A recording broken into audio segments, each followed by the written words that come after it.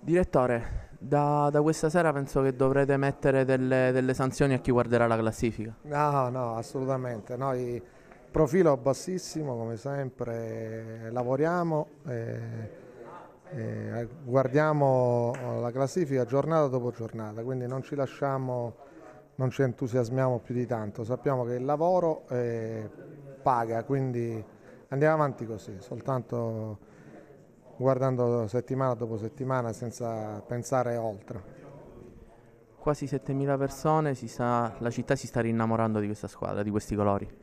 Era ora, no? Finalmente, dico che cosa aspettavamo.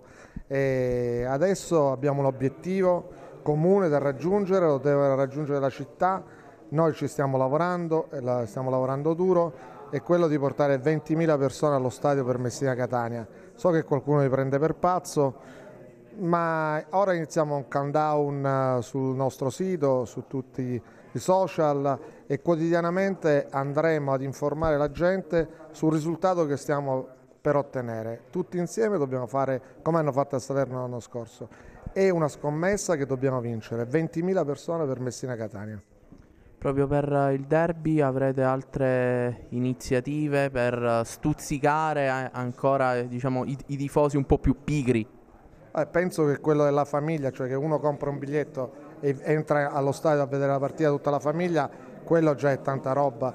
Poi naturalmente ci sono delle altre iniziative in cantiere che nella prossima settimana nel corso di una conferenza stampa presenteremo, però diciamo che eh, non abbiamo, eh, non tralasceremo nulla perché il 15 novembre sia una grande giornata di, di, festa per la città di Messina, per tutti gli sportivi e soprattutto per i tifosi. Questa sera quanti anni ha perso? No, no, niente, tranquillo, tutto a posto, tutto a posto. Niente, tutto felicissimo così, va bene.